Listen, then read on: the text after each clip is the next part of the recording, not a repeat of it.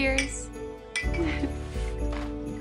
Wait, wait, did you put rum in yours? Mm. Obviously not. That'd be bad for the baby. Virgin River pulled out all the stops in the season 5 part 2 Christmas episodes, streaming right now on Netflix. But there was one person missing who could have made things very awkward for a certain mother to be. We're talking about Ricky, last seen shipping off for basic training at the end of season 4. As TV Line previously confirmed with Virgin River showrunner Patrick Sean Smith, Ricky's training was scheduled to last through December, which would have allowed him to visit home for the holidays. That timeline didn't change, but Ricky's vacation plans did. Smith reveals, quote, In full honesty, having him return for Christmas was part of the plan, but the episodes were so full already, having to answer the cliffhangers from part 1 and then setting up the cliffhangers for season 6. See you later then. Be careful, dummy.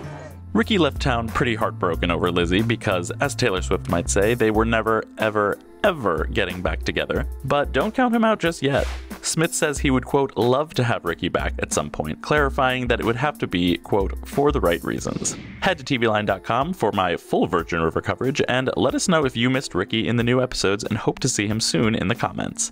For TVLine.com, I'm Andy Swift.